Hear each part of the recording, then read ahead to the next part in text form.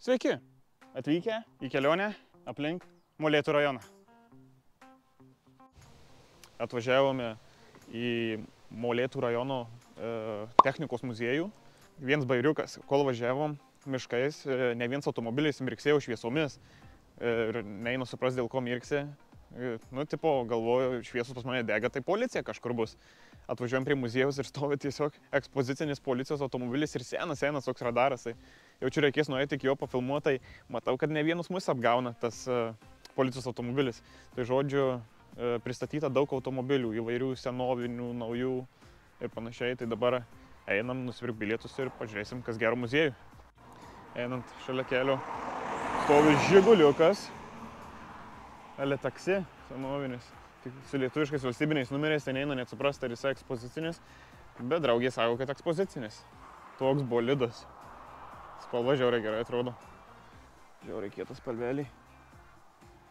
Vis. 280 SE kupė. Šitas iš vis rimtas. Kokia forma. Vairas tai iš vis aфиgenas, pats to, ko norėčiau dabar.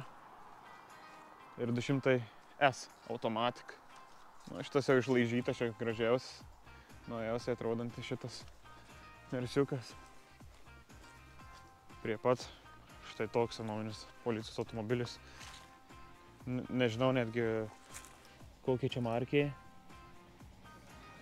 bet šustrai atrodo su lietuviška emblema, kelių policija parašyta ir prie kolos didžiausias tėva strukutė, ant kurios parašytas studentas. Na va, iškart nusipirkom bilietus prie pat kasos sena technika, muzikos, groja muzikytė, geras vaibas, rodo per senus televizorius. Tomą Džerį, nežinau, ar matosi gerai. Turbūt per kamerą taip nerodys, jo gliūčina šiek tiek. Gal šitas telekėlės rodys. Kažkiek eina supras, kad Tomas Džeris. Va, sudėtos kasetės, technika visokia. Tuomet iš karto pilna ekspozicija visokių automobilių. Pirmas automobilis Svajonė. Savos gamybos automobilis, pagamintas Lietuvoje. Gamybos metai 66, labai jau seniai. Ir vienas tik tais, vienas vienetas tik tais yra, vienintelis čia. Tai turbūt va, todėl čia ir stovi. Šustras, geros spalva, bagažas. Sakė, čia viduje į automobilius lipti negalima, bet laukia bus galima įlipti. Tai labai įdomu, reikės įlipti kažkur pažiūrėti.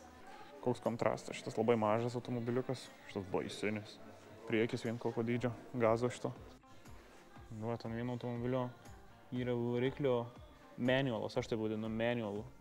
Rodo, kur kokios dalys, surinkimas. Ypač dabar, kai aš per savo streamus MySummerCar žaidžiu, tai man aktualu šitie dalykai dabar. Gal satsumą rasim netyčia. Taip pat sudėta įvairių daiktų. Lada. Z60 BMW.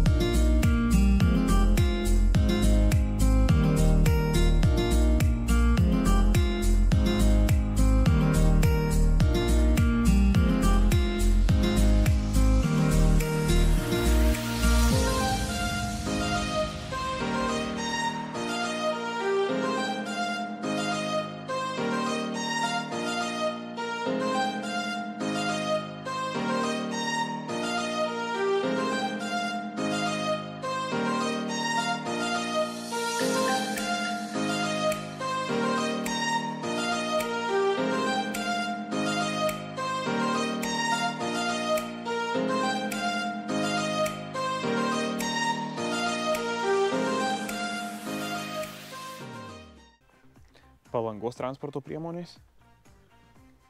Mokomasis va ir lietuviškos policijos senas, senas pasatas, kaip iš tų pareigūnas dainos. Toliau turim variklį, senovinį, visos dalys surašytos, čia karburatoriaus vien tik tais, kiek yra visko, 45 detalės. Sekcinis kuros ir blys, kem 8 detalės. Labai daug. Wow, wow. Monstras. Čia monstras.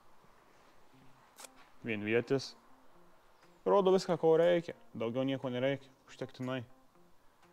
Vairas. Variklis neuždengtas. Ratukai. Stovi du milicijos automobiliai. Sankt Peterburgo. Šitos. Ir parašyta, kad šito maksimalus greitis 150, šito 140. Nežinau, ką jie pavydau tais laikais. Turbūt visus. Šiais laikais nieko nepavytų. Greitoji medicinė pagalba. Oi, čia jau lietuviškai. Ratukai kokie, balta juodi. Pagamintas Latvijoje šitas automobilis. Oi, bet jam greičio trūko. 120. Taip pat du Volvo. Šitam bent jau aš, kai būdavau jaunesnis, vadindavau katafalku. Nes išveždavau karstus. O čia koks bolidas. O, o, vyvo. Žiauru šitas. Nespėjau išgelbėti, išvežtas. Traktoriai, kombainai,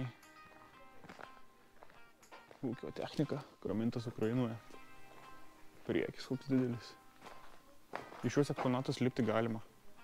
Tai kaip ir viskas aišku, ką darom.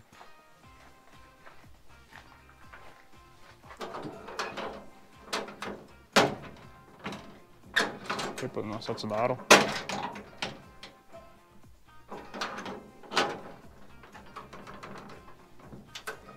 Nežinau. Kadangi nežinau, lipsim į šitą. Linoleumas. Išklotas dugnas linoleumo. O, blem, čia talpu. Vairo dydis. Wow. Žiauriai didelis vairas. Galim pažiūrėti, kas čia vat. Daiktadėžė. Čia laikytis reikia keleiviui, kad neįsiverstų. Gaila, kad iš tą negaliu lipti. Tiesiog nemoku atidaryti durų. Čia galit įsidėti vėliavą ir vežtis vėliavą, kaip ant namų būna. Bet taip, va, galim gal į paprastesnį kokį lipti, jeigu į tau nesugebėjom. Bandom į mėlyną šitą įlipti tada. O, atidarytas. Irgi linoleumų išklotas.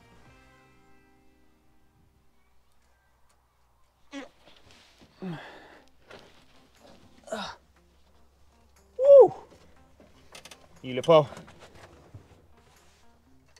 Opa. Čia technikėlė. Bet čia labai daug vietos, labai patogu šitam sėdėti. Ir linoleumas, pirštiniais darbiniais pamestos. Jungtukai įvairūs. Kai kurie tai visą judina e, šitą dalį, bet kai kurie mygtukai pasispaudžia. Lankstosi.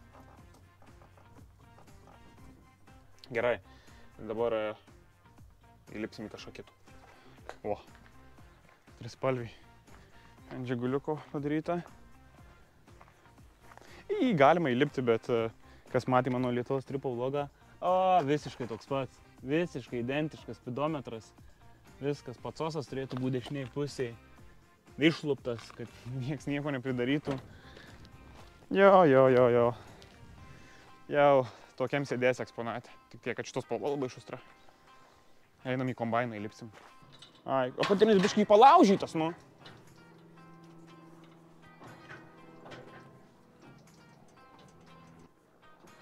Čia šiaip įdomu. Baisu dėti kažkur kojas, kad neįlūšiau į apačią, bet man atrodo, galiu čia dėti visur kojas, neįlūšiau į apačią. Sveiki. Iš čia galime pasižiūrėti viską. Matosi griuvėsiai, kurių jūs nematysit dabar. Jūs girdėsit mano balsą. Kitoje pusėje laukai, kurių irgi nematysit, nes aš jų nenufilmuosiu.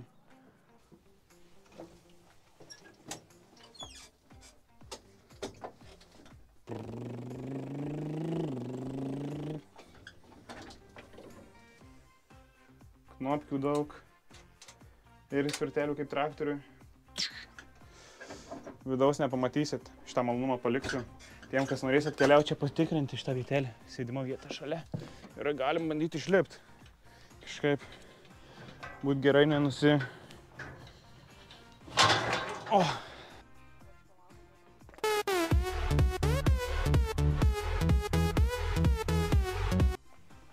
Porą Mad Maxo eksponatų.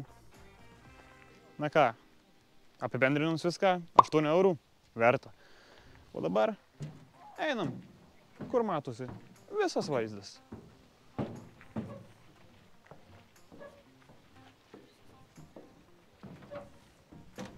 Štai. Ateikit, ateikit, nesidrovėkit. Išlipkite į viršų. Pakankamai tvirta viskas, nenukrisim. Štai, visas vaizdas. Vaikų aikštelis. Asilas. O dabar lėkiam toliau.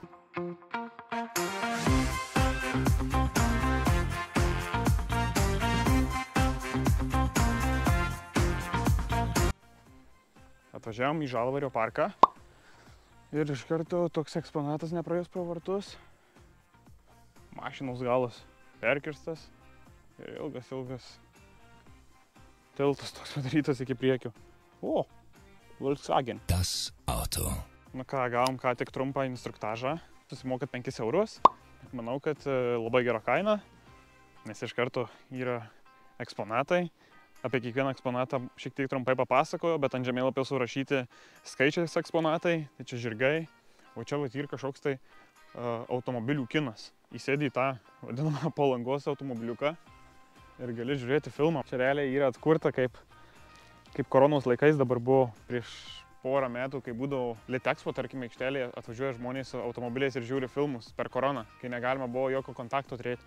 Tai čia realiai tas pats yra. O čia iš padangų netgi pasakysiu jums tiesiai šviesiai, kas čia yra iš karto tiesiogiai, kad neapgauti e, žemėlapis. Čia taip gražiai pavadintas yra Mišelis. Mišelino padangų, man atrodo, tas yra ženklas. Tai čia va jisai padarytas, taip, figūrėlį jau. Tas toks baltas burbuliuks.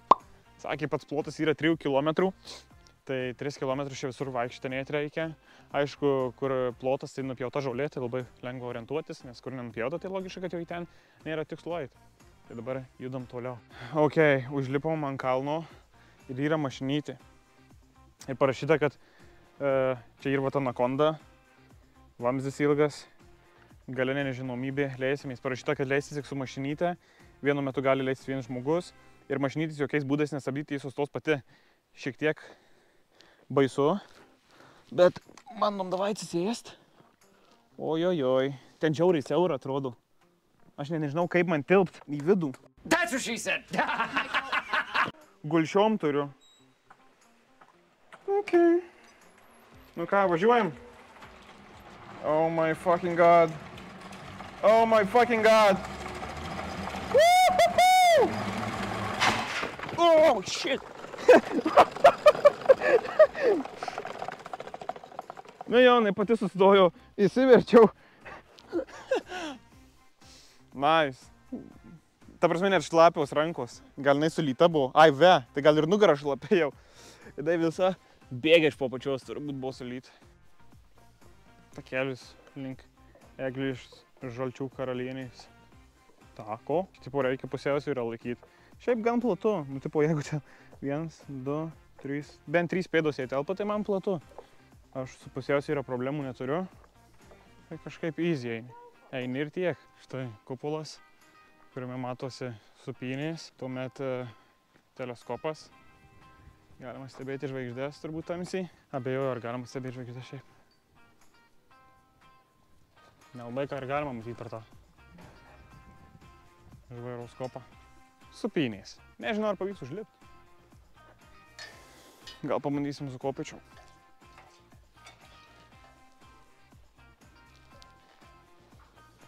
Neįtin jauku. Va. Nežinau, ar saugiau bus. Atro, tai baisu iš tikrųjų. Atrodo, kad jis nuluš. Ir tu iškrisi iš jo. Dar girždą pačioj girdžiu.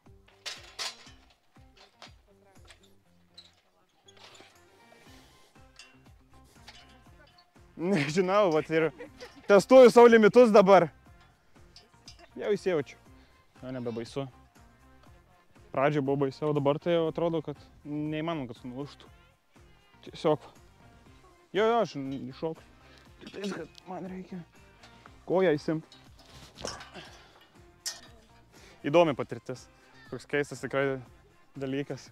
Žmogus čia supusi šalia ir sako, kad keistai jaučiasi, nes nejauti pusėm žemės ir nežinau net kaip apibūdyti. Aš šiek tiek pajausiu nuo kupolo, yra retro supynės, o Šiaip tas daiktas, kuriam aš sukausi kaip iš prūties, vadinasi baimės faktorius. Gal pradžioje ir šiek tiek pajaučiu kažkokią baimę, bet šiaip žiauriai fan. Teritorija tikrai nemažo dydžio iš tikrųjų. Galima čia ir uh, vasaros kraštomis dienomis vasaroti, vat, čiuožykla. Iš karto į vandenį, nice. Maudaisi savo prūdę, iškastame prūdę. Supinių pilna, bačkų, aviliai meniškai padaryti. Menininkų vieta iš tikrųjų. Ir dabar man liko dar vienas įdomus dalykas. Kažkur yra veidrodžių kambarys, reikia jį surasti. Pažiūrėsim, kiek ten tų veidrodžių. O, da, pripūstas, negalvoju, kad bus pripūstas. Dėjimą, karočią? Ne, dėjimo tai be šansų. Biškai kreivi lankai. Bet... Iš toliau, man atrodo, biškai per arti buvo. Jau. Į puntuko akmenį einam. O čia veidrodžiai. Ir šiaip net ne trys, o normaliai. Uh, uh, uh. O, čia Vaida. Vaidas. Čia. Šitas pakeičia kažką ar? Čia standartinis veidrodis tiesiog. Čia gali kelnukė savo pažiūrėti. O, šitas man patinka. Tai nežinau, va, va, kaip galvytėje būna tokia, susiliečia su kita. Cip, cip, cip, cip, cip. Sveiki! La, la, bla, bla, bla, bla. Afiginas šitas. Pabuvom veidrodžių kambarį, dabar varom jau link automobilio. Aš nelabai matau, kur einu. Tai žiauriai šiaip iš tikrųjų patiko, už 5 eurus apsimoka.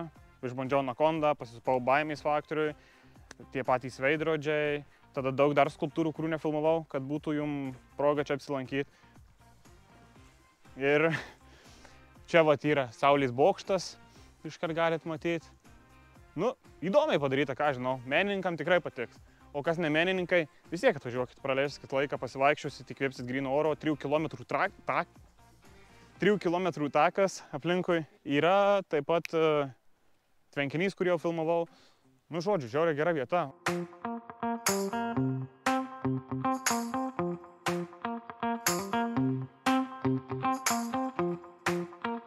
Ėjom ir prieėjom. Apžvalgos bokštas. Oi, oi, oi, oi, oi. Blemba. Atrodo vienas aukštesnių, kokius matęs esu. Jaučiu, kad šiek tiek bus uždusta, kol bus užlipta. Čia bus galima atsisės pailsėti.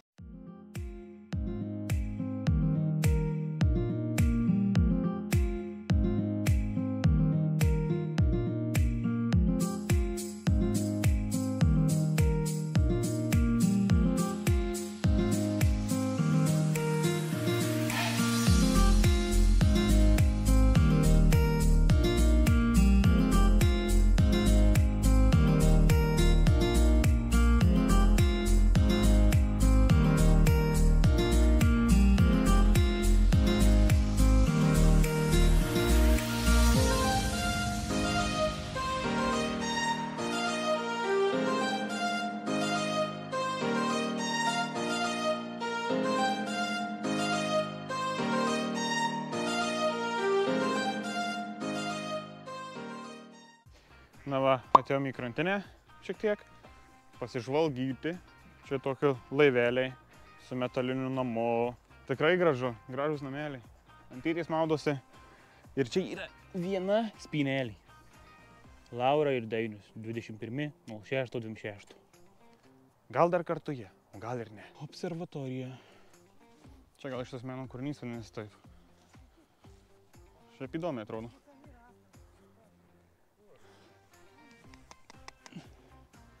Padaryta iš puodų. Tiesiog lašas. Iš jo galėtų vanduo dar bėgti. Būtų iš vis fainai. Grindys.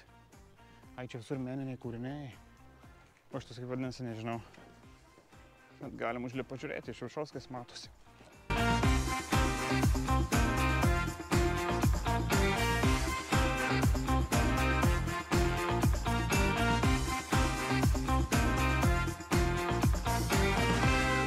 Užlipom į viršų.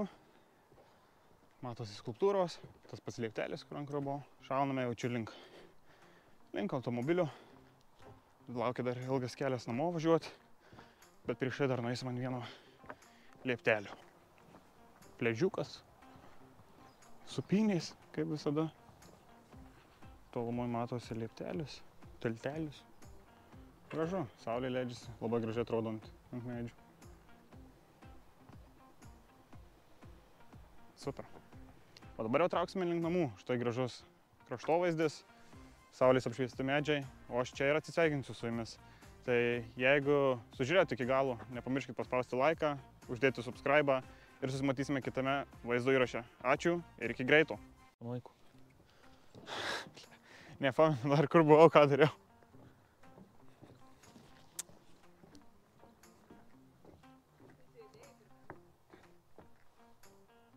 Čia galbūt. Nu davai, darom taip kaip pirmai. Sveiki.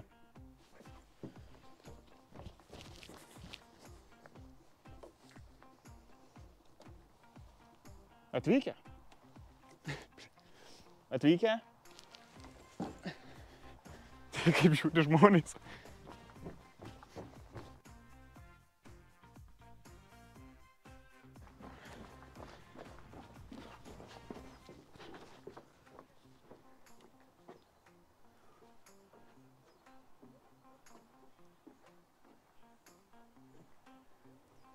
Į kelionę.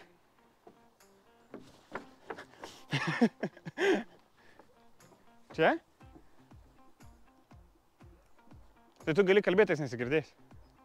Čia, ne? Į kelionę.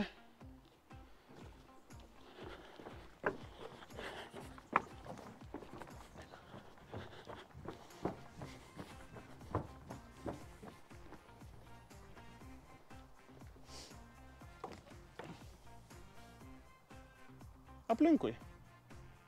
Aplink. Aplink. Čia kažkur sėsti.